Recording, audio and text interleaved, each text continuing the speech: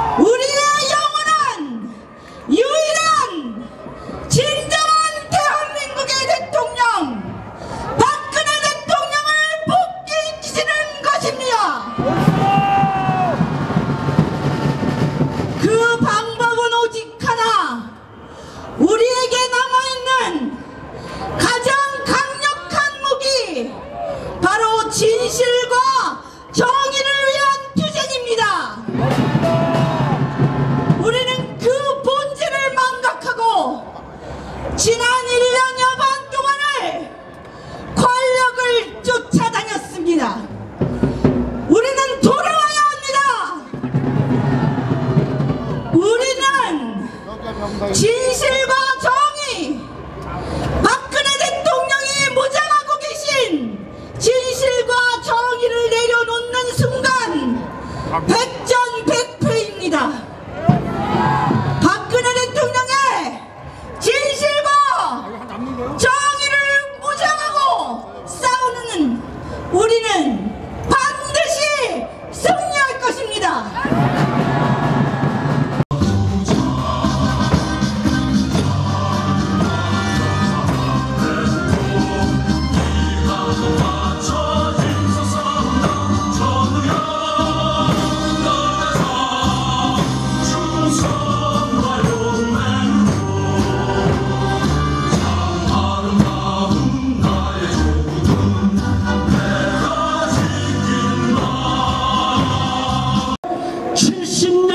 지켜온 자유민주주의 체제가 인민민주주의로 바뀌려고 하고 있습니다.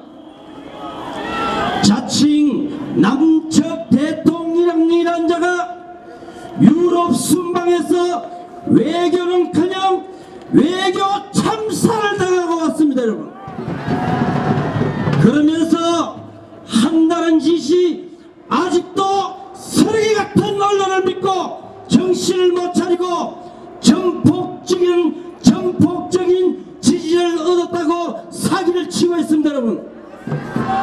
그러면서 곧바로 했는 짓이 셀프 비중 평양선언 군사회담을 자기들 스스로 비준하고 말았습니다 여러분.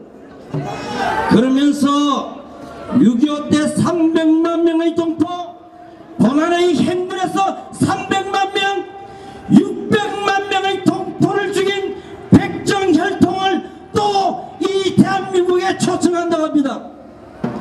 이 미친놈들 아닙니까 여러분? 이 백정혈통을 숭배하는 주사파 놈들은 정신분열자들입니다 여러분. 존경하는 애국정 여러분 이걸 막을 수 있는 방법은 어디 있겠습니까 여러분